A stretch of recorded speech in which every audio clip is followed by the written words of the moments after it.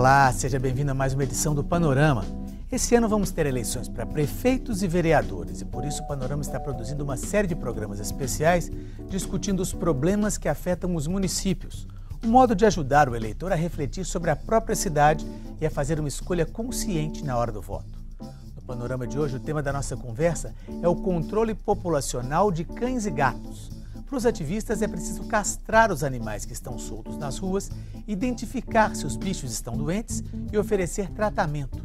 O problema é que esses procedimentos custam caro e nem sempre as prefeituras dispõem de recursos. Para conversar conosco sobre esse assunto, nós recebemos duas convidadas aqui no estúdio. A advogada Edna Cardoso Dias, presidente da Comissão de Direitos dos Animais da OAB Minas Gerais, e a médica veterinária Ana Liz Bastos, pesquisadora do Instituto Vivende e do Instituto Técnico de Educação e Controle Animal. O Panorama já está no ar.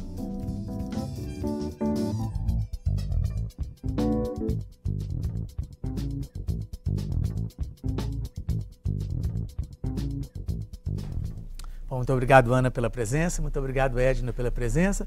Eu queria conversar, começar com uma pergunta que, para vocês, deve ser uma pergunta fácil de responder, mas para quem está assistindo, às vezes não é tão a gente não sabe. Por que é tão importante fazer o controle da, da população de cães e gatos nas ruas da cidade?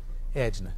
Bom, é importante por vários motivos. Em primeiro lugar, devido à saúde humana e à saúde animal. E, em segundo lugar, é devido a, ao respeito à dignidade do animal, ao bem-estar do animal e à educação de uma cidadania ambiental, no sentido de que a população tem uma convivência harmoniosa com esses animais que dividem com ele o espaço é, da cidade e o espaço metropolitano.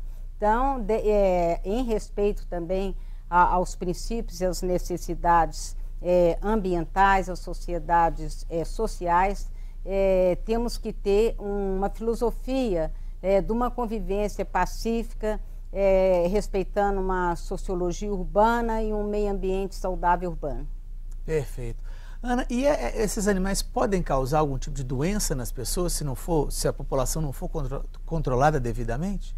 Sim, com certeza. É por isso que todo município, né, existe a vigilância em saúde, onde dentro existe o controle dos zoonoses, onde a gente conhece os CCZs, que são Centros de Controle de Zoonoses, que surgiram né, na década de 1970 para controlar principalmente a raiva uhum. que esses animais transmitiam, né? As pessoas às vezes acham que é eles que transmitem, a gente transmite entre si.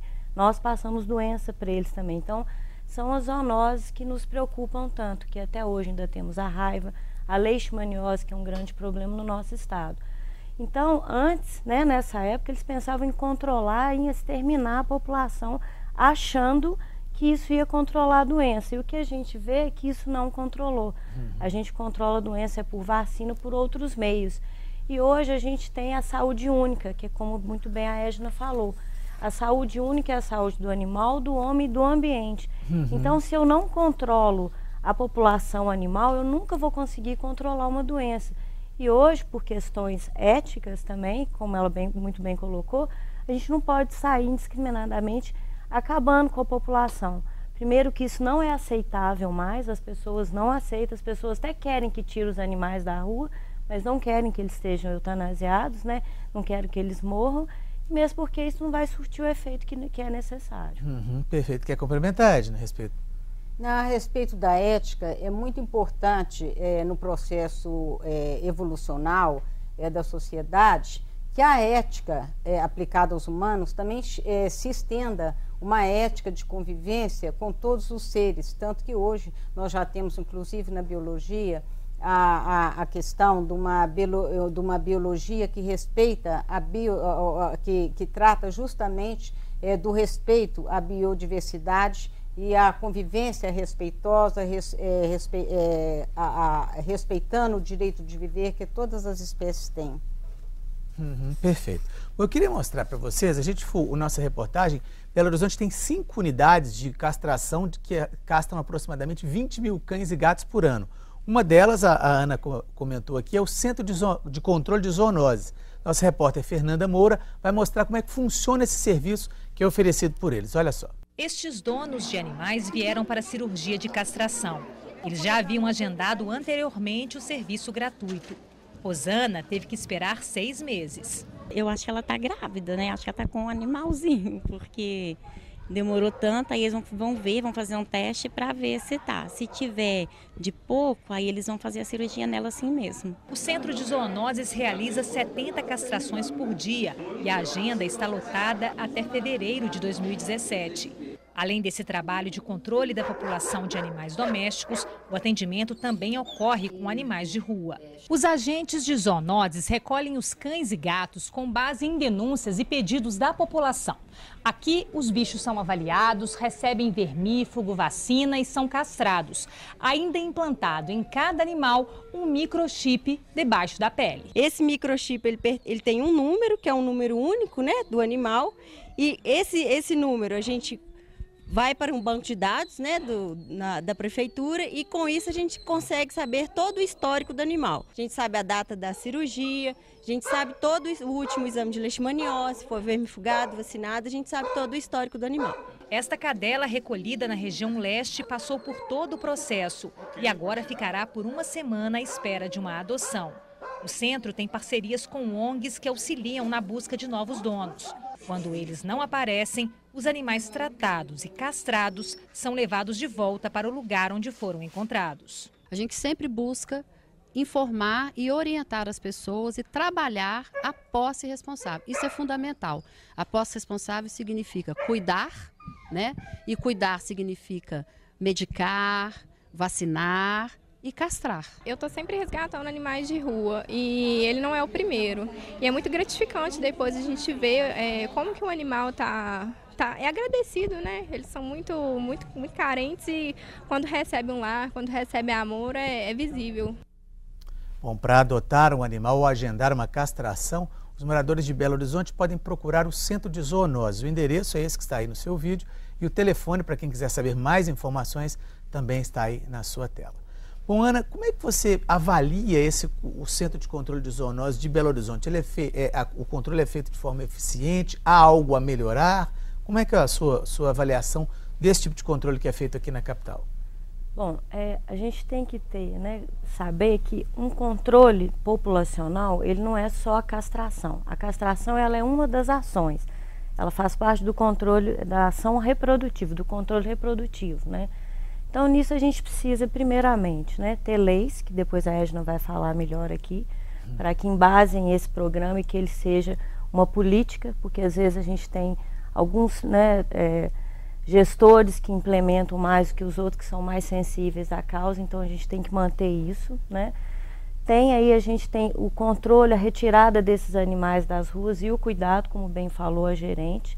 Eles precisam serem levados a esses centros e serem bem cuidados, que às vezes não acontece. Não é o caso do CCZ de Belo Horizonte, mas a gente vê em outros aí. Então precisa é, é ter certeza que esse animal vai ser bem cuidado quando ele está na mão do serviço público, uhum. né? Esse é um recolhimento seletivo, que hoje a gente não só vai recolher animais que realmente é, estão em risco e, e aí é fazer a castração e depois o encaminhamento para adoção.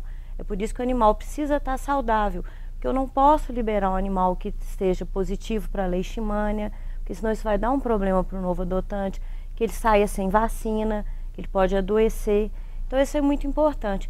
E hoje, não só em Belo Horizonte, mas como vê em outros é, estados, em outras capitais, São Paulo também que tem um bom programa, esse serviço ainda é aquém do que a gente precisa. Uhum. Né? Você falou aí, a gente precisa castrar muito mais, porque o impacto dessa esterilização vai depender do número de animais que eu casto por ano. Uhum. Então, o município, como falou, falta recurso. É por isso que é muito importante entrar clínicas veterinárias parceiras para que eu aumente esse número de esterilização por ano, para que eu tenha um número menor de animais na rua, número menor de abandono. Uhum. Né? Então a gente precisa castrar mais. Principalmente eu faço um apelo aos colegas médicos veterinários que façam, porque tem nós somos atores sociais também. Então a gente precisa nem que for fazer uma vez por mês, fazer um, um mutirão, né, fazer oferecer um serviço mais barato, que hoje ainda é muito caro, poucas pessoas. E nós não temos um SUS para cachorro e gato. Uhum. Né? Esse é o nosso sonho, imagino, né, que a gente que futuramente. Que hoje Consiga a gente tem fazer. esterilização, mas se um animal fica doente, a pessoa não pode pagar. Uhum. Então, a primeira coisa, ela abandona, abandona em casas, em ONGs, ela tem a sensação de que alguém vai cuidar, e nem sempre é assim. É por isso que a gente vê tanto animal sofrendo Perfeito. nas ruas. Edna, em termos de legislação, como é que a gente está hoje? A gente já está num ponto interessante, aceitável, ou ainda há muita coisa para avançar em relação a essa legislação que Sim, cuida dos nós animais? Nós ainda estamos no início e a legislação é realmente necessária devido ao princípio da legalidade. E eu queria começar, antes de entrar nisso, complementando o que a doutora Annalise falou, é, pelo seguinte, é muito importante ter uma política pública é, de defesa e proteção dos animais. O Brasil é signatário da Declaração Universal dos Direitos dos Animais. A Declaração de Cambridge de 2012 já reconheceu que os animais são seres sencientes, então não há mais como adiar é, essa questão da, da, política de proteção e defesa dos animais. Esta política é, deve conter é, um objetivo é, específico, princípios próprios, é, metas e, e diretrizes para guiar o poder público. E, e essas leis devem ser aprovadas de acordo é, com, com esta filosofia da política de defesa do animal. E o que, que acontece? Cada município deve ter sua própria legislação, porque existe a independência é, administrativa dos poderes, de formas que, devido ao princípio da legalidade, é preciso que cada município, como muitos já têm, tenha sua legislação própria de defesa dos animais, seu programa próprio é de controle populacional e um, um, órgão ou uma, uma subdivisão dentro de uma secretaria que te, receba a competência é, de executar essa política de proteção animal. Outra coisa bastante importante que já foi aqui abordada é a questão da parceria pública-privada. Uhum. Inclusive, a Constituição já diz que é competência do poder público e da coletividade é cuidar do meio ambiente é, e, inclusive, é, cuidar do equilíbrio das espécies e a proteção é, dos animais que fazem parte do meio ambiente. De formas que a parceria público-privada, é, convênio com entidades privadas, clínicas veterinárias, sociedade civil é muito importante e fundamental.